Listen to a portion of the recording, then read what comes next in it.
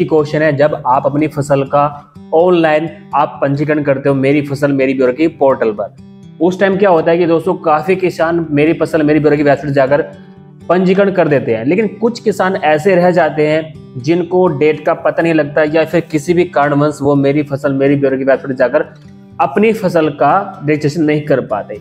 और दोस्तों, मैं आपको इस वीडियो में बताने वाला हूँ, जो आप इस वीडियो में देखने वाले हैं कि मेरी फ़सल, मेरी ब्यूरो की वेबसाइट का लास्ट डेट क्या है? मान लीजिए अब सभी किसानों ने अपने खेत में गेहूँ की फ़सल बोई हुई है और किसी कारणवंश वो अपना पंजीकरण नहीं कर पाए हैं। अब गेहूँ का या फिर अन्य जो भी फ़सल है, उसके बारे में भी बात करूँगा कि उनकी लास्ट डेट क्या है, कब तक आप अपनी फ़सल का पंजीकरण कर पाओगे। सबसे पहले करना क्या है? आप अपने मोबाइल फ़ोन में लैपटॉप में, आपको मेरी फ़सल, मेरी ब्यूरो की वेबसाइट पर आ जाना है। मैं आपको स्टार्टिंग में बताता हूँ गूगल में आपको सर्च करना है। मेरी फ़सल, मेरा ब्यूरा। देन उसके बाद देखिए, यहाँ पर इस तरह से इंटरफेस हो जाएगा। नाउ आपको यहाँ पर मेरी फ़सल, मेरी ब्यूरो की वेबसाइट पर क्लिक करना है। आप मेरी फ़सल, मेरी पोर्टल पर आ जाओगे। यहाँ पर कोई भी ऐसा ऑप्शन नहीं है जहाँ पर लिखा हो कि लास्ट डेट क्या है। फिर भी आप पता करना चाहते हो तो आपको किसान अनुभव, यहाँ पर आपको क्लिक करना है।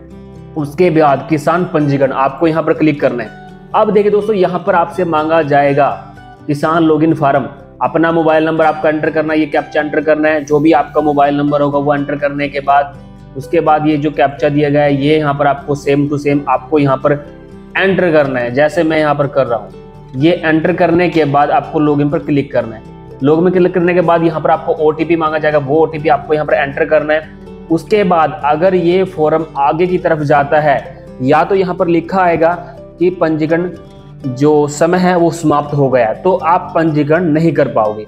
अगर ये लॉगिन आगे चलेगा पोर्टल आगे चलेगा तो समझ लीजिए आप लॉगिन कर सकते हो। तो इस तरह का इन्फॉर्मेशन आपको इस वेबसाइट पर मिलेगा। और दोस्तों, मैं आपको बता दूँ कि लास्ट डेट होती कब है? मान लीजिए आपने अपनी फ़सल खेत में गेहूँ की फ़सल लगाई हुई है। अब आप उसका रजिस्ट्रेशन करना चाहते हो रजिस्ट्रेशन हो नहीं रहा है तो उस ज़रिए मैंने आपको बताया कि आपका लास्ट डेट क्या है। मान लीजिए आपने अपनी फ़सल लगाई हुई है और अब आपकी फ़सल कटाई पर आ चुकी है। जैसे कि गेहूँ की फ़सल है और आपको पता है कि गेहूँ की जो फ़सल है, अप्रैल, मई में कटना स्टार्ट हो जाती है। उससे अप्रैल, मई से डेढ़ महीने पहले ही वेबसाइट बंद हो जाती है।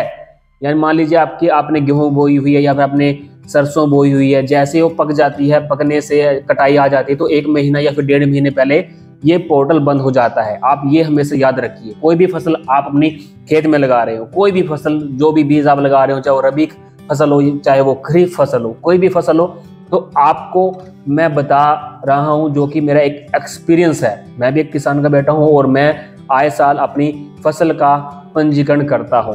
तो एक महीने पहले या डेढ़ महीने पहले पोर्टल बंद हो जाता है। लेकिन अगर काफ़ी संख्या में किसान बचे हुए हैं, ऐसा होता है काफ़ी संख्या में किसान बचे हुए हैं, जिसकी वजह से वो यहाँ पर अपनी लोकेशन में जहाँ पर किसान रहते हैं तो इकट्ठा होकर वो अपने नज़दीकी डिपार्टमेंट में, जो भी कृषि डिपार्टमेंट में वहाँ पर विज़िट करते हैं और वहाँ पर अपनी शिकायत दर्ज करते हैं कि हमारा अभी काफ़ी ज़मीन क्षेत्र में बचा हुआ है। तो सरकार क्या करती है फिर एक दो महीने के लिए, ना सॉरी एक दो दिन के लिए पोर्टल को ऑन करती है।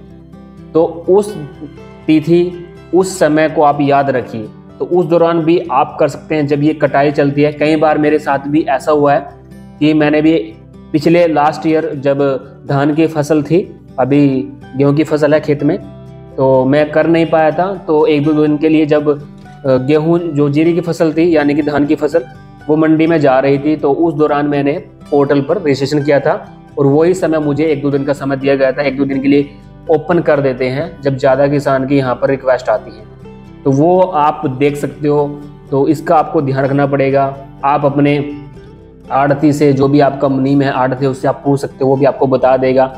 या मार्केट कमेटी का जो चेयरमैन है, या फिर जो भी दफ्तर आपके वहाँ पर बना हुआ है, वहाँ पर आप पता कर सकते हैं। तो ये है पूरा इन्फॉर्मेशन इस वीडियो में। काफ़ी लोग परेशान हो जाते हैं कि अब हम क्या करें। तो ये एक ज़रिया है।